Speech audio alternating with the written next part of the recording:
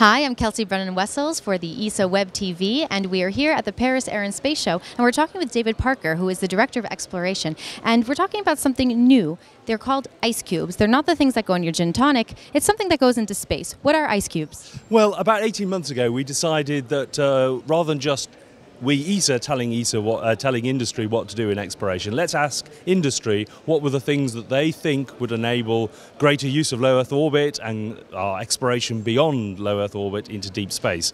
And one of the ideas that came in, and the first to be ready to go ahead, is something called ice cubes. So here is one uh, right here.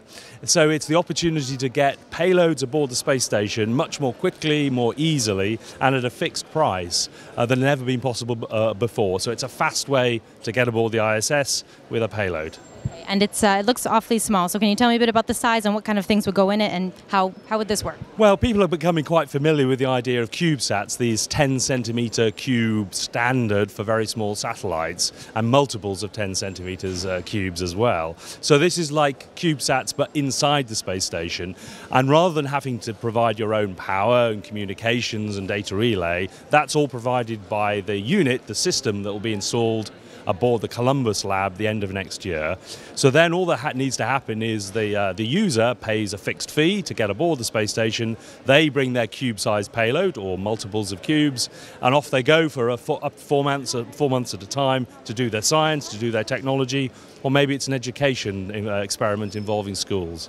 Fixed fee, how much are we talking? So we're talking about 50k euros for uh, a, a, normal commercial payload with a, uh, an educational discount if you can prove it's a real educational value.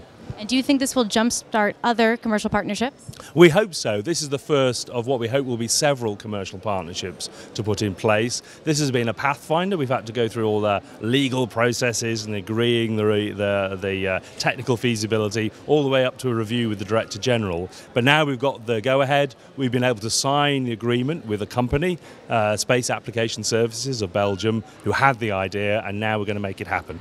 We look forward to see the signs that are coming out of these ice cubes. Thank you so much. Thank you. And to our viewers, remember to keep in touch and to uh, follow what's going on with the ice cubes. Just follow our website, www.esa.int.